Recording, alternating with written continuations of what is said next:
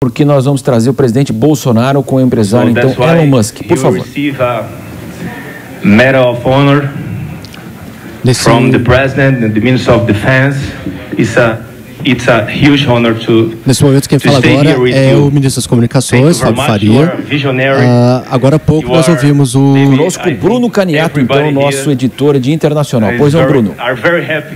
Uh, o ministro, agora há pouco, o bilionário Elon Musk, ele falou, uh, pouco antes do encontro com Bolsonaro, ele destacou que essa é uma grande oportunidade, diz que há muito que podemos fazer junto com o governo brasileiro. Lembrando, ele se encontra agora com o presidente Bolsonaro na cidade de Porto Feliz, no interior de São Paulo, onde deve ser discutido, entre outras pautas, a o monitoramento do desmatamento ilegal na Amazônia por satélite e a possibilidade de conectar escolas rurais pois com não. a internet da Starlink, que também é de propriedade do milionário Elon Musk. Voltamos aos estúdios com Matos. Pois não, Bruno Caneto que acompanhou tudo, daqui a pouco ele traz aí, faz um balanço então desse encontro. Mota falávamos aí, é, rapidamente aí nós tivemos então a presença então do presidente Bolsonaro ao lado do empresário Elon Musk aqui em Porto Feliz, em São Paulo, Mota. Muito, muito impressionante, muito legal ver isso uma, é, é muito bom, né, Marcelo? A gente sair de pauta negativa para pauta positiva.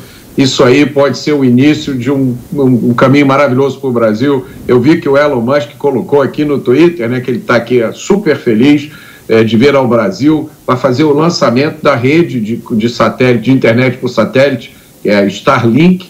Ele está dizendo aqui que vai ligar 19 mil escolas é, em áreas rurais e também vai auxiliar no monitoramento ambiental da Amazônia. E eu reparei que ali na plateia, é, ou era ele ou era muito parecido com ele, o ministro Dias Toffoli, né? Exatamente, Eu tá, estava também ao lado ali do ministro Fábio Faria. Agora, Mota, você eh, falava dessa questão e nós tivemos aí o leilão do 5G. Qual que é a sua expectativa para o país? Há uma promessa de que até é, o meio do ano, capitais como São Paulo, Rio de Janeiro, todas as capitais brasileiras, nós já tenhamos essa tecnologia. Muito se fala sobre 5G, até a propaganda já se utiliza, as, as empresas de operadoras de celular, mas o que, que ela vai trazer de fato aí? Você falando também dessa possibilidade aí, é, trazendo para a Amazônia toda essa conexão de fato.